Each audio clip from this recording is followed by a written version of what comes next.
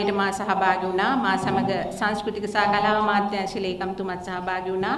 ඒ අවස්ථාවේදී අපිට ප්‍රත්‍යක්ෂ වුණා. ලෝක උරුමයන් ලෙස මේ උරුමයන් එම ලයිස්තුවට ඇතුළත් කර තිබුණාට මදි.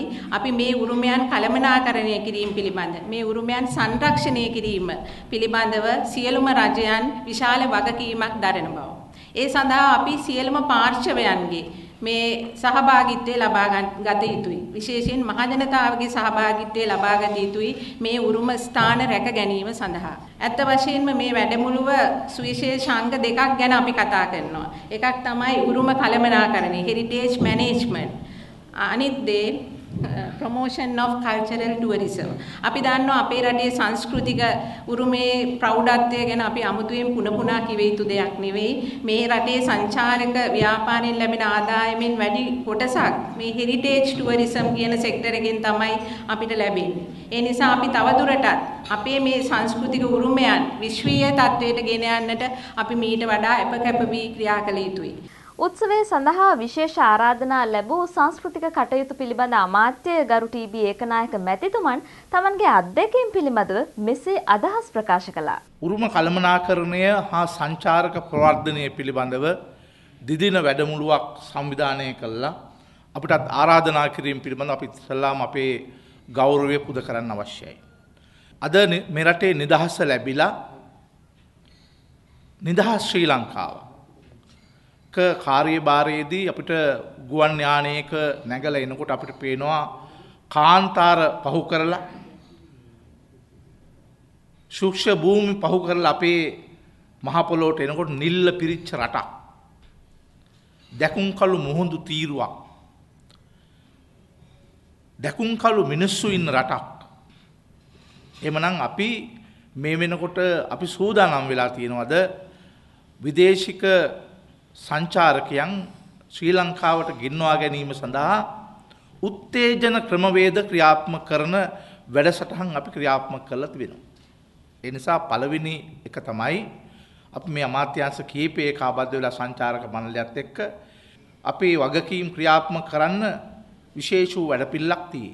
ජාතික උරුමයන් පිළිබඳ අමාත්‍ය ගරු ආචාර්ය ජගත් බාලසූරිය මැතිතුමන් මේ කටයුත්තේ භාරදූරත්වය පිළිබඳව සභාව දැනුවත් කරන්නට යෙදුණා. ආසියාතික රටවල් ගත්තොත් ලෝකයේ වැඩිම සංචාරකයන් පැමිණෙන රටවල් දෙකක් ඇතුළට ඒ රටවල් දහය ඇතුළට ඇතුල් වෙලා තියෙනවා චීනය සහ මැලිෂියාව. ආදායම ලබන වැඩිම රටවල් දහය ඇතුළට චීනය සහ හොංකොන් කියන ආසියාතික රටවල් දෙකක් ඇතුළත් වෙලා තියෙනවා. ඉතින් මේ සංඛ්‍යා ලේඛන වලින් විදහාපාන දෙයක් තමයි අනාගතයක් තියෙන ආර්ථික වශයෙන් ව්‍යාපාරයක් එවගේම සංස්කෘතික සංචාරක ප්‍රමාණය එන්ඩ එන්ඩ වැඩි වෙනවා ඒ අවස්ථාව අපි අපේ අමාත්‍යංශය තුළින් සංචාරක ව්‍යාපාරය සමඟ සම්බන්ධ වෙලා අමාත්‍යංශක සම්බන්ධ වෙලා රටේ ආර්ථික වෘද්ධියට පියවරක් ගැනීමේ අරුමුණ ඇතුව තමා අපි දැනුවත් කිරීමේ ව්‍යාපාරයක් ගෙන යන්නේ මේ ඉහළ මට්ටමේ රාජ්‍ය නිලධාරීන්. මොකද අපි දන්නවා පුරාවිද්‍යා කොමසාරිස් තුමාට සමාන බලතල නියෝජ්‍ය පුරාවිද්‍යා කොමසාරිස් වරුන් හැටියට සලකණ්ඩ පුළුවන් දිසා ලේකම්පුරු. ඉති ඔවුන්ට පුළුවන් විශාල වශයෙන් මේ පලාත් මට්ටමේ ප්‍රාදේශය මට්ටමෙන් සේවයක් අපේ මේ අරුමුණ සාක්ෂාත් කර ගැනීමට අවස්ථාවක් ලබාදීම. වැඩමුළුවේ සමාරම්භක දිනේදී වටිනා අදහස් රැසක් සමගින් ආරාධිත දේශනය පැවැත්වූයේ ජනාධිපති ලේකම් ලලිත් වීරතුංග මැතිතුමන්. අපේ උරුමය කියන මේ කතිකාවතයේදී අපේ හිතට බොහෝ වෙලාවට නැගෙන්නේ භෞතික වස්තුූන්.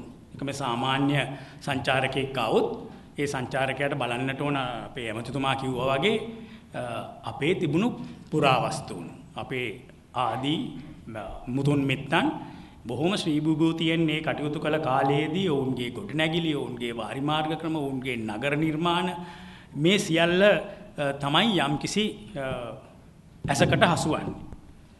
මා මේ රැස්වීම පවත්වන්නට පෙර මා කවදත් බොහොම ගරු කරන විජේදාස මැතිතුමාගෙන් ඇහුවා මේ රිෆයින් නේෂන් කියන එකට මොකක්ද සිංහල වචන කියලා.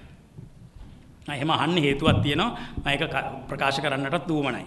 එතුමා මට එතුමාගේ සුපුරුදු ප්‍රවීණත්වයෙන් මට මේ සටහනක් ලියලා දුන්නා මනා හැදියාවකින් යුක්ත ජාතියක් ජනතාවක්. මා හිතනවා මේ ජාතික උරුමයන් ගැන කතා කරද්දී අපි නැවතවරක් සිතා බැලිය යුතුයි අපේ පෙර තිබුණු ජාතිය මොකක්ද කියලා. ඒ නිසයි මා මේ වචනය හෙව්වේ මනා හැදියාවකින් යුක්ත ජාතියක්. මනා හැදියාවකින් යුක්ත ජනතාවක්. අද කවුරුත් දන්න දෙයක් අපි කතා කරනවා මෙහිදිත් ප්‍රමෝෂන් of cultural tourism. මෙහි පැමිණෙන සංචාරකයින්ට අපේ පැරණි ශ්‍රී විභූතිය හොඳින් කළමනාකරණය කළා ඔවුන්ට දැකගන්නට සලස්සන්නට ඕනේ. එයින් මා හිතනවා අද අපිට අන්තර්ජාතික බලවේග නොඑක් ආකාරයට යම්කිසි තැලීමක් පෙලීමක් කරනවා නම් ඒකටත් එක්තරා විදියක මේක උත්තරයක් වන්නට පුළුවන්. මොකද අපි එවන් මනා හැදියාවකින් යුක්ත ජාතියක් නිසා. මේ අවස්ථාවට ජාතික උරුමයන් පිළිබඳ අමාත්‍යාංශයේ ලේකම් කාන්ති විජේතුංග මැතිතුමිය ඒත් එක්කම සංස්කෘතික කටයුතු අමාත්‍යාංශයේ ලේකම් විමල් රූපසිංහ මැතිතුමා පරිසර අමාත්‍යාංශයේ ලේකම් ආචාර්ය සමරතුංග මැතිතුමා ඇතුළු සම්භාවනීය අමුත්තන් රැසක් සහභාගී වී සිටියා. ඒත් එක්කම විශේෂයෙන් සඳහන් කරන්න ඕනේ ලංකාවේ සෑම දිස්ත්‍රික්කයකම දිස්ත්‍රික් ලේකම්වරුන් සහභාගී වී සිටීම විශේෂ වැදගත් හේතුවක් වුණා.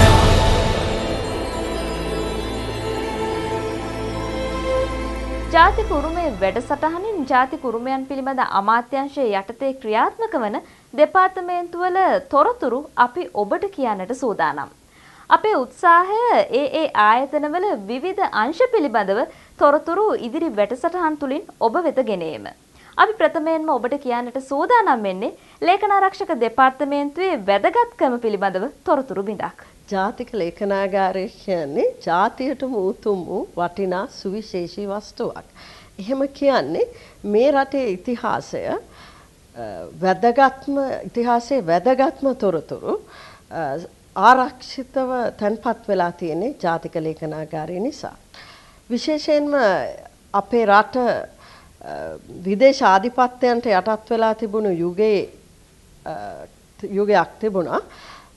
ඒ අතුරින් එක්දා සයිසිය හතලිහේ ඉඳලා ආරම්භ වුණු ලන්දේසි ලේඛන වල පටන් මේ දක්වා විශේෂයෙන්ම බ්‍රිතාන්‍ය යුගයේ ලේඛන ඒ වගේම නිදහසින් පසු ලංකාවේ ලේඛන ඔය ආදි වශයෙන් වැදගත් ජාතියට වටිනාකමක් තියෙන ලේඛන මෙහි තැන්පත් වෙලා තියෙනවා.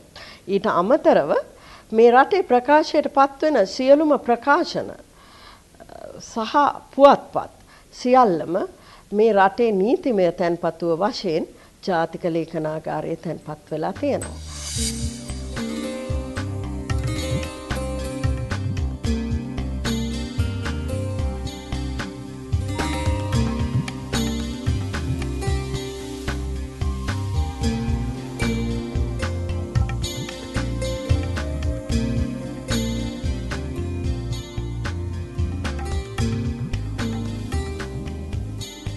ජාතික ලේඛනාරක්ෂක දෙපාර්තමේන්තුවට විවිධ විදියේ මහජනයා එනවා. සාමාන්‍ය පුරවැසියෙක්ගේ ඉඳලා විශ්වවිද්‍යාලයක මහාචාර්යවරයෙක් දක්වා මේ දෙපාර්තමේන්තුවට පැමිණෙනවා. මක්නිසාද කියනවා නම් ඒ සියලු දෙනාටම අවශ්‍ය වන ලේඛන මෙහි තියෙනවා. මෙතෙන්ට එන්න අවශ්‍ය වෙන්නේ යම් පුද්ගලයෙකුට ඒ පුද්ගලයාගේ හැඳුනුම්පත පමණයි. ඒ හැඳුනුම්පත රැගෙන පැමුණුනාම අපේ මහජන සම්බන්ධතා අංශයෙන් ඒ අයගේ අවශ්‍යතාවය දැනගෙන ඒ අයට යම්කිසි ගැසට් නිවේදනයක් බලා ගන්නට එහෙමත් නැත්නම් වෙනත් නිවේද වෙනත් ප්‍රවෘත්තියක් දැනගන්නට හෝ වෙනත් ලේඛනයක් බලන්නට අවශ්‍ය වුණාම ඒ අවශ්‍ය ස්ථානයට යන්නට අවසර පතක් නිකුත් කරනවා. ඒ අවසර පත රැගෙන සෙවීම් කාමරයට ගිහිල්ලා අවශ්‍යතාවය කිව්වම ඒ නිලධාරීන් ඒ අවශ්‍ය ලේඛන ලබා දීමට කටයුතු කරනවා. ඒ වගේම ඒ ලේඛන අතුරින් යම් පිටපතක් කෙනෙකුට අවශ්‍ය වෙනවා නම් ඒ පිටපත් ලබා දීමේ සේවාවත්